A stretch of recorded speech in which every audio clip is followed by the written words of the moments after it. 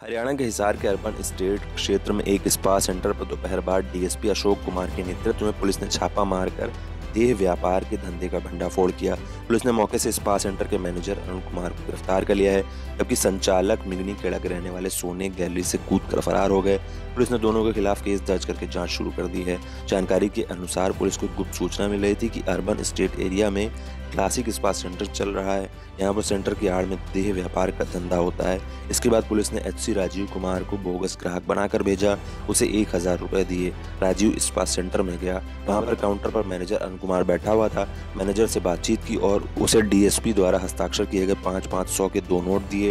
उसके बाद उसने एक रुपए गले में रख लिए और राजीव को कैबिन में ले गया। वहाँ पर एक लड़की को बुलाया। इसी दौरान राजीव ने पुलिस टीम को जानकारी दी। सूचना मिलने पर इंस्पेक्टर सरोज बाला और उसकी टीम मौके पर पहुँची और अरुण को मौके पर पकड़ लिया। पुलिस पूछताछ में सामने आया कि स्पा सेंटर चलाने वाले दिल्ली से लड़कियाँ लाकर उनसे देह व्यापार करवाते थे। पुलिस मामले की जाँच कर रही है।